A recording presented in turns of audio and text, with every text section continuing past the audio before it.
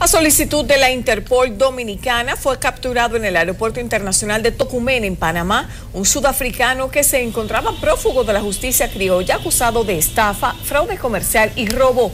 Se trata de Patrick Polomena, quien fue devuelto al país y entregado a los agentes de la OCN Interpol Dominicana en el Aeropuerto Internacional de las Américas. Según informó la Policía Nacional, de acuerdo a la acusación que pesa contra este, el sudafricano podría ser condenado a cumplir una pena máxima de 20 años de prisión. El mismo será sometido a la justicia en las próximas horas para que se le conozcan medidas de coerción.